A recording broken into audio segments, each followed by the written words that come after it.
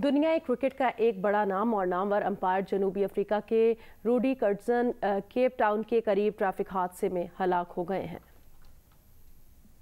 Media reports के मुताबिक empire Rudy कटसन की कार को उस वक्त हादसा पेश आया, जब वो केप टाउन में गोल्फ टूर्नामेंट खेलने के बाद नेल्सन मंडेला बे वापस आ रहे थे। रूडी कटसन के साथ मजीद तीन अफराद भी खौफनाक कार हादसे का शिकार हुए। उनके बेटे के मुताबिक रूडी अपने दोस्तों के साथ गोल्फ खेलने गए थे। उन्हें पीर को वापस आना था, लेकिन उन्होंने एक और राउंड खेलने का फैसला किया था। रूडी कटसन ने उन्नीस सौ इक्यासी में एम्पायरिंग कैरियर का आगाज़ किया और उन्नीस सौ बानवे में पहले इंटरनेशनल मैच में एम्पायर फायरिंग की। उन्होंने मजमू तौर पर 108 टेस्ट 209 वनडे और 14 टी ट्वेंटी मैचेस में एम्पायरिंग की।